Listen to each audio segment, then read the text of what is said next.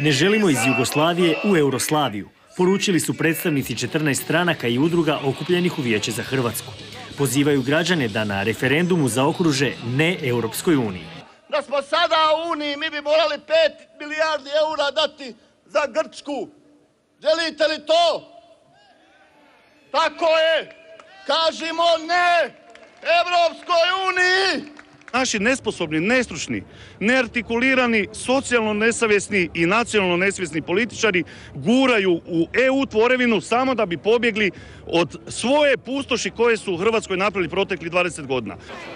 Protivnici Unije tvrde da se pristupom ponižava domovinski rat i ubrzava rasprodaja nacionalnih bogatstava. I vrijeme ulaska je smatraju pogrešno, jer je Unija u velikoj krizi i mogla bi se raspasti. Slažem se sa svima što su rekli. Znači, izdaja, prodaja Hrvatske, čuli ste statistike, katastrofa. U ovoj priči za sad je sigurno samo jedno. Posljednju riječ imat će građani. Iduće nedjelje odlučuju o sudbini Hrvatske.